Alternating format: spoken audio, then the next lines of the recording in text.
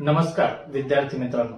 आज आपण पाठ पाठ क्रमांक दहा ऐतिहासिक काळ यामधील दहा पॉईंट दोन नद्यांच्या खोऱ्यातील नागरी संस्कृती या मुद्द्याचा अभ्यास करणार आहोत.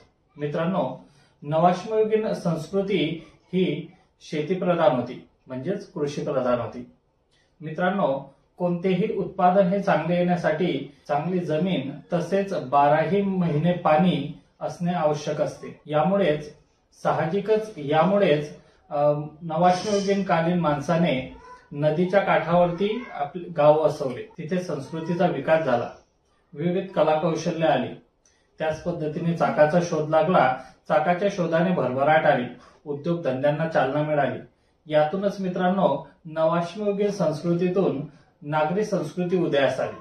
इसवी सन पूर्व तीन हजार वर्षापूर्वी या एकाच कालखंडात चार प्रदेश प्रदेशांमध्ये नागरी संस्कृती उदयास आली. मेसोपोटेमिया इजिप्त भारतीय उपखंड आणि चीन या प्रदेशामध्ये नागरी संस्कृती उदयास आली व या नदीच्या काठाला ती विकसित झाली. म्हणून नदीच्या काठी असलेला प्राचीन नागरी संस्कृती यांना नद्यांच्या खोऱ्यातील नागरी संस्कृती असे म्हणतात. यानंतर विद्यार्थी मित्रांनो आपण आपला पुढील मुद्दा घेणार आहोत. मुद्दा क्रमांक दहा पॉईंट तीन विविध संस्कृती मेसोपोटेमिया इजिप्त चीन हडप्पा. मित्रांनो या संस्कृतींचा आपण अभ्यास करणार आहोत. यातील पहिली संस्कृती जी आहे ती आहे मेसोपोटेमिया. मित्रांनो मेसोपोटेमिया हे एका देशाचं नाव नसून हे प्रदेशाचं नाव आहे. मेसोपोटेमिया म्हणजे दोन नद्यांमधील प्रदेश. आणि प्राचीन मेसोपोटिया म्हणजे टायग्रीस व